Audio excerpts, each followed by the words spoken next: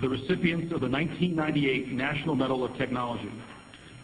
The team of Kenneth L. Thompson and Dennis M. Ritchie from Bell Laboratories Lucent Technology for co-inventing the Unix operating system and the C programming language.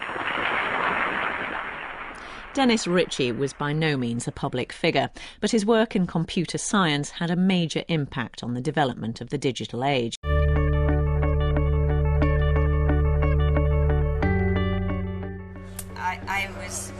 Project to renovate the showcase exhibit at Murray Hill, and we decided that we really wanted to make a replica of the board that Dennis had. So I said, well, I'm a neighbor of Dennis, and I will stop by and see if he'll lend us his Turing award. So I dropped by, rang the doorbell, um, opened the door. He's been retired for a few years, but just got greeted by a great big smile and said, Dennis, would it be okay if we borrowed your Turing award? He said, yeah, sure. And he walked in, it was on the fireplace. He pulled down this slightly uh, tarnished silver bowl and handed it to me. I went, next I was going over to my dad's house and I said, gee, Dad, you know, you want to see a Turing Award? He almost fell off his chair. He said, is that insured? Are you being careful with it? Dennis was so generous and humble. He handed over a very, very expensive Tiffany silver bowl to me. Anyway, we returned it, shined up.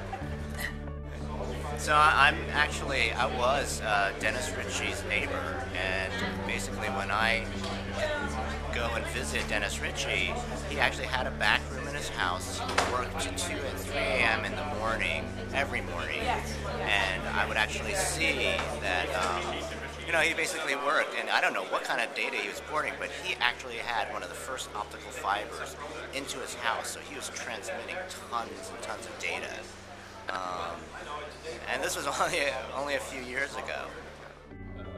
Last couple of years I've been using the Unix lab for doing my own work and uh, that's the place where Dennis uh, did all his greatest creations, the C and the Unix.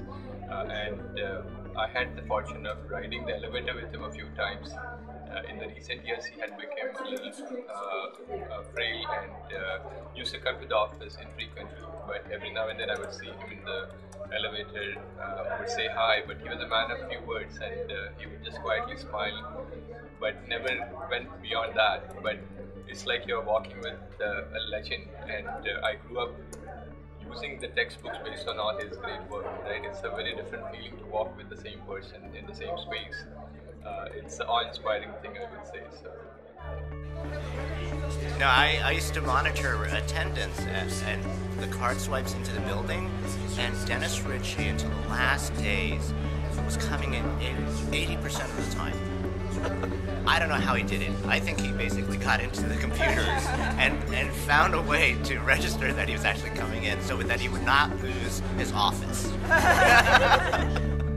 So if you could just tell me a little bit, you know, Dennis Ritchie. Well, it's interesting. We happen to sit in the same area where he sat, his team. So we remember him pretty well. Um, and we still enjoy going, walking through the offices where he worked. And they're good memories for our team uh, that inspires us to uh, work on big things.